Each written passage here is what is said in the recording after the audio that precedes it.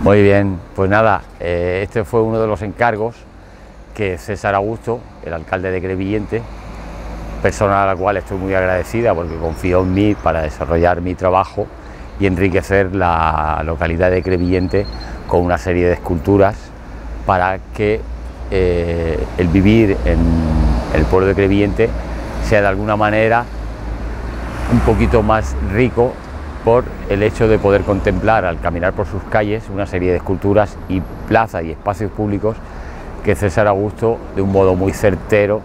con respecto en comparación a otras localidades de la provincia, ha realizado en este pueblo. Y lo cual me da mucha felicidad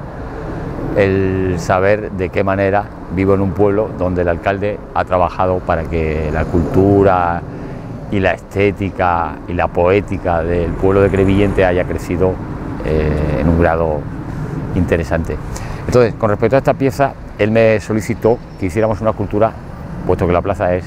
la plaza de España, hiciéramos una escultura esbelta, a petición del arquitecto, que para descanse, Brotons, y el, aparejador, el arquitecto sigue vivo, que es su hijo. Y entonces, eh, al concebir, al intentar concebir, conceptualizar diseñar la pieza del encargo que me había hecho César, concebí en este caso la pieza en la cual España estaba representada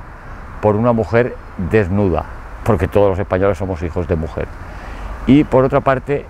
tiene, aparece con dos banderas, porque cuando una persona de la comunidad valenciana, en sus sentimientos de su infancia y su cultura, siente dos banderas, siente la bandera valenciana y al mismo tiempo siente la bandera nacional. Por eso aparece con dos banderas. Y el hecho de que aparezca sosteniendo la bola del mundo en su mano izquierda es la relación de la cultura latina con respecto al mundo, su influencia en cuanto a su colonización y el reparto de su cultura